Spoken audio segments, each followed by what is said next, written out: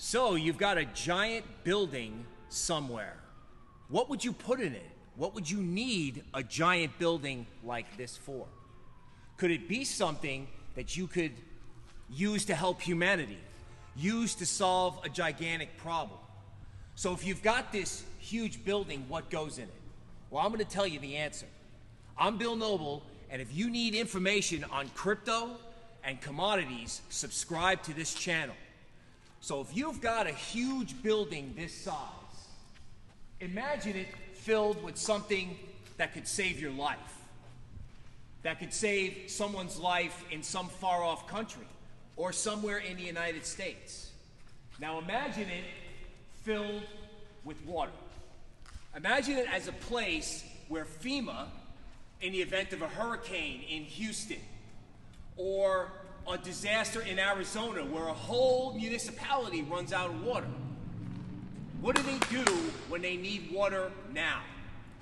They come to a place like this. We're going to call it the Strategic Water Reserve from a company called Blu Arctic, where we're going to use crypto, blockchain, as a way to move water from a far off land like Greenland, where our company has water rights. In other words, we can move water from Greenland, and where are we going to bring it? We're going to bring it here to the Strategic Water Reserve. Now, how do you fit in? Well, here's the good news you get to invest in the future of water. We're going to create the infrastructure to bring it here and store water here. So you get to invest through the BARC token and the GLDN token in the future of water.